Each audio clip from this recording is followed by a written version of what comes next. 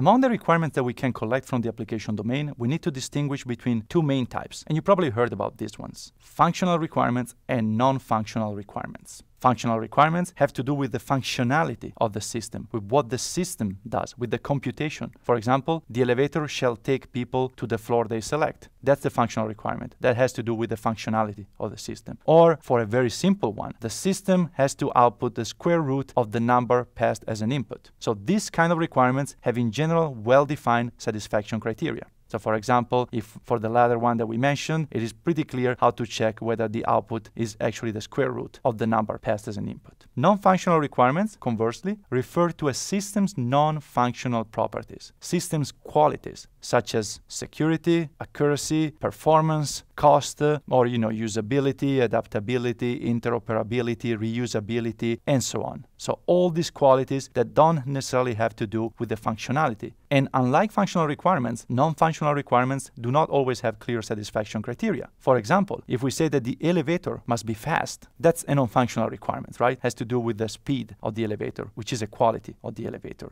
But it, it's not clear how such a requirement could be satisfied. How can we tell whether the elevator is fast or not? So what we need to do in these cases is that we need to refine these requirements so that they become verifiable. For the example that I just mentioned, for instance, we might say that the elevator must reach the requested floor in less than 30 seconds from the moment when the floor button is pushed. This is still a non-functional requirement, but is a verifiable one.